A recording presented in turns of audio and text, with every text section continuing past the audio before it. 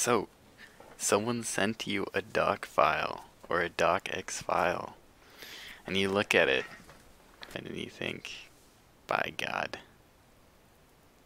By God, proprietary software has taken over, and there's nothing we can do about it. I'm going to have to get Microsoft Word.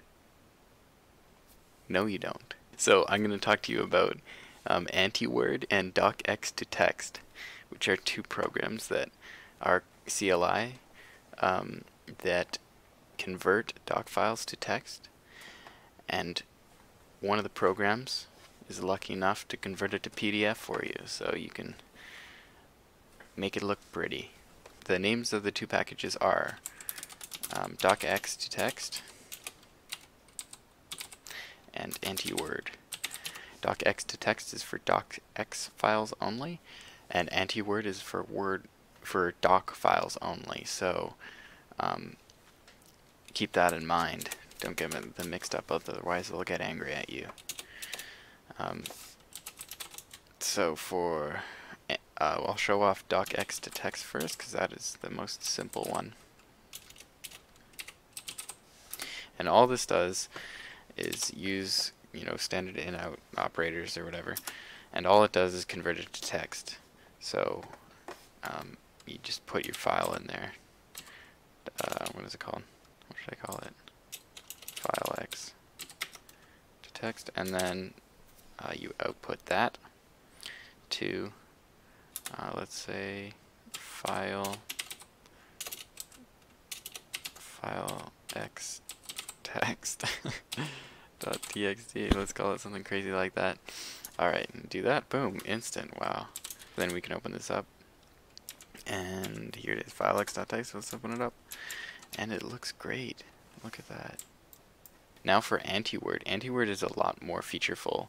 Um, it has a man page that you can read all the, the features of it for, but the most important one is dash A for AntiWord. So AntiWord dash A. Dash A means convert to PDF. So if you type in dash A anti-word dash A, and then you have to put the letter size after that. Um, sorry, you have to put in the paper size.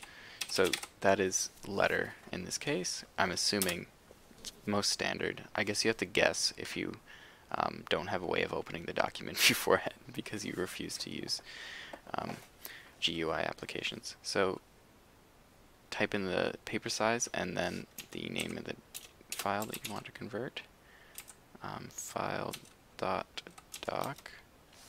And then just like the other program except slightly different you, um, without having the input you just have the output. So you put the uh, output operator. And you're going to put that into a file and we'll just call it file.pdf boom done instant again. So if we open that up.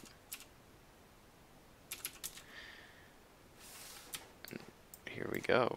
Just opened it up in Zathura and it works this is a, a PDF, you can print this. So if you want docx files to be converted to PDF or doc files to be converted to PDF um, and maintain images and and um, tables and anything complicated like that, then I really recommend just getting LibreOffice.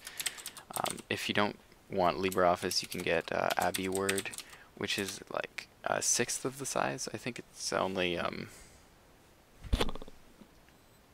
I think it's only yeah, it's it's 135 megs. It's really small compared to LibreOffice. LibreOffice is over 600 megs. Um, but uh, I'm sure you guys aren't as crazy as I am, and you'll just uh, get whatever you want. Um, and not worry about the size of it because that's absolutely ridiculous. Anyway, I hope that you enjoyed. I hope that you use these programs to your advantage. I hope that you found this useful. Like, comment, and subscribe for more content.